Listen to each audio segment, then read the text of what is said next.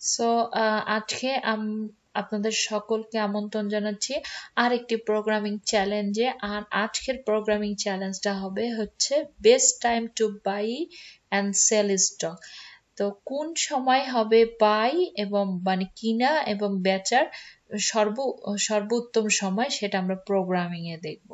তো এখানে যে প্রবলেমটা বলছে যে হচ্ছে, এখানে বলছে you are given an array prices এখানে হচ্ছে এই অ্যারে যে দেখা যাচ্ছে, নিচে যাই আমি, এগুলো হচ্ছে প্রাইস ওকে স্টকের বিভিন্ন দিনের, এই যে অন দা আইএনথ ডে মানে হচ্ছে এক একটা দিনের ওকে এবং আমাদেরকে করতে হবে? এই নিচে বলছে যে, আমাদেরকে হচ্ছে এখানে বলে দিছে যে, আমরা ট্রানজেকশন করতে পারব একদিনে একদিনে হয় বাই করব, না হলে সেল করব। মানে একদিনে বাই সেল দুইটা সাইমনটেনিয়াসলি করা যাবে না। এখানে সেটা বলে দিছে। এই হলো কথা।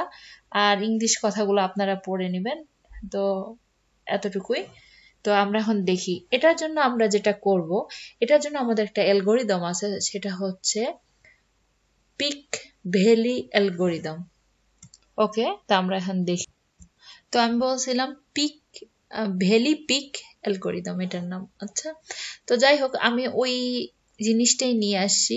এখানে হবে সেভেন ওকে। তো এই যে আমাদের হচ্ছে, এটা হচ্ছে আমাদের ইনপুট তো আমাদেরকে করতে হবে এটা ভ্যালি পিক অ্যাপ্রোচ নাম করা হয়েছে এই কারণে, যে হচ্ছে আমাদের অ্যালগোরিদম অনুযায়ী আমাদেরকে শুরু করতে হবে সেকেন্ড ইন্ডেক্স থেকে এবং আমাদেরকে দেখতে হবে যে আমাদের প্রিভিয়াস যে ইন্ডেক্স আছে সেটা ছোট কিনা। যদি ছোট হয় তাহলে সেটা প্রফিটের আওতায় যাবে, আর যদি সেটা বড় হয় তাহলে আমাদেরকে ওটা নিতে হবে না। তো আমাদেরকে এইখানে যে ইনপুটটা রয়েছে, সে অনুযায়ী যদি আমরা কাজ করতে চাই, সেক্ষেত্রে আমাদের করতে হবে যে এই পয়েন্টে আমাদেরকে কি করতে হবে? কিনতে হবে। আর আমাদের এই পয়েন্টে বিক্রি করতে হবে। দ্যাট মিনস আমাদের প্রফিট আসলো কত? পা, চার। এবং অনুরূপভাবে এখানে আমাদেরকে আবার বিক্রি করতে হবে এবং আমাদের এখানে বিক্রি করতে হবে। এখানে আসলো তিন। তো এই এর চার তিন আমাদের হচ্ছে প্রফিট হচ্ছে সেভেন তো এটা ভ্যালি পিক অ্যাপ্রোচ কারণ হচ্ছে যে ভ্যালির মতন পিক করছে। তো এইভাবে করলে আমাদের, এটা ব্রুট ফোর্সও করা যায় বাট এটা করলে আমাদের জন্য হচ্ছে কোডটা অনেক ছোট হয়ে যায় এবং এরকম প্রবলেমের জন্য এটাই হচ্ছে কনভিনিয়েন্ট ওয়ে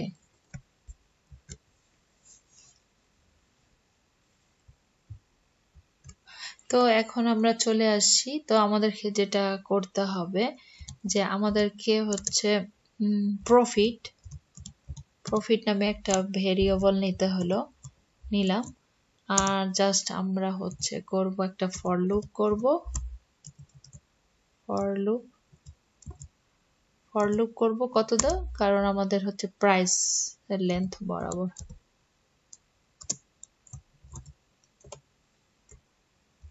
তো আমাদের যে এখানে একটা ইফ কন্ডিশন দিতে হবে, যে হচ্ছে, বলে নিই আমি যে প্রেজেন্ট যে আই ইন্ডেক্সটা চল, আছে, সেটার চেয়ে যে প্রিভিয়াস যে ইন্ডেক্সটা থাকবে, তাহলে আমরা এই জায়গাটা কপি করে নিই, বলছি। প্রিভিয়াস ইন্ডেক্স যদি ছোট হয় প্রেজেন্ট ইন্ডেক্সের চেয়ে, তাহলে এটা আমাদের প্রফিটের আওতায় আসবে। তাহলে এখানে আমাদেরকে আই মাইনাস ওয়ান করতে হবে। আর এটাকে এখানে নিয়ে আসতে হবে।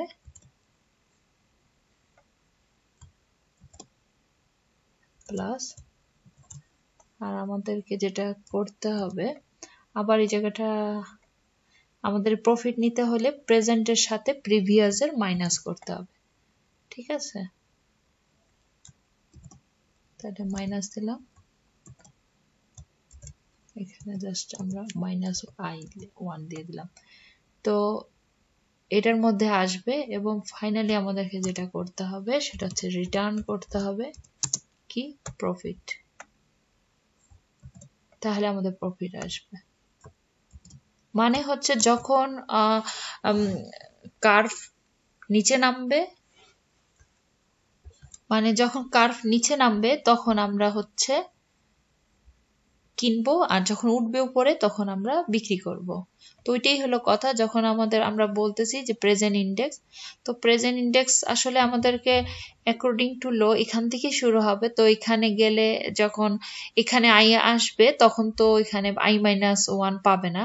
তাহলে ও আরেকটা ইন্ডেক্স বাড়া এখানে আসবে। তো এটার সাথে এটা কম্পারিজন করবে।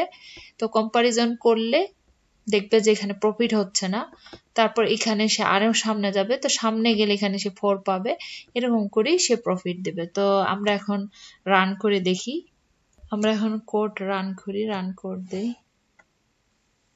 সরি দেখা যাক কি হয়। ওকে তো সাবমিট করি।